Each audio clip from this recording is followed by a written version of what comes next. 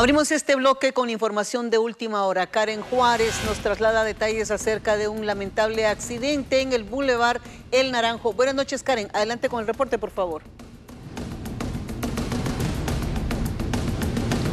Buenas noches compañeros de Noticieta ya en el estudio. Efectivamente nosotros nos encontramos sobre el Boulevard El Naranjo en donde se eh, ocasionó un accidente vehicular en donde como ustedes pueden ver a través de las imágenes un vehículo se empotró con un eh, poste del cableado eléctrico ocasionando que toda esta área quedara sin electricidad.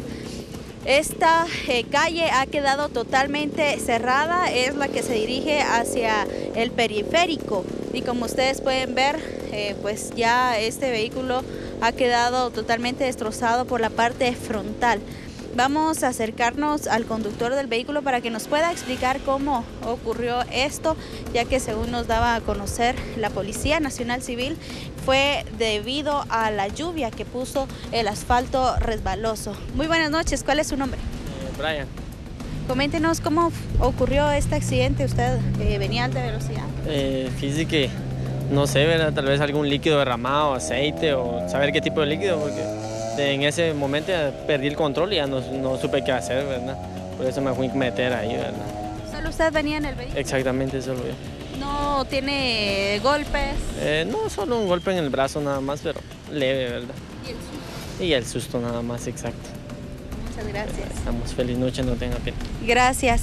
Bueno, ya pudieron escuchar, eh, se dice que algún líquido podría haber estado derramado sobre el asfalto, pero cabe mencionar que hace algunas horas se presentó una lluvia bastante densa en áreas de la ciudad y pues también en el área de San Miguel Petapa y Villanueva que eh, pues ocurrió eh, inundaciones en el área y también pues la, que se, se cayeron algunas vallas publicitarias.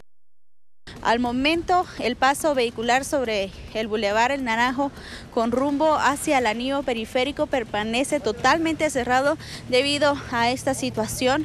Hasta el momento se espera que vengan eh, pues, autoridades de la empresa eléctrica a poder verificar esta situación según dan, indicaban de que el precio por votar un poste de luz oscila entre los 25 mil quetzales.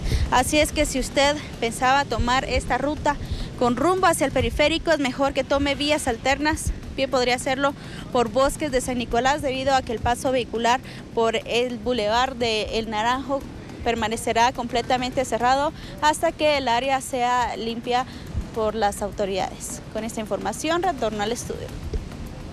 Bien, muchas gracias a Karen por este reporte. Ya lo decía ella, tomar precaución. Si no tiene necesidad de tomar esta ruta, pues evítelo o agarre por otro lado, ya que esto va para largo. Eso por un lado y por otro lado, el costo de este poste. Habría que verificar si en efecto el chico tuvo la culpa o, caso contrario, pues lo asumirá quien corresponda, ¿verdad?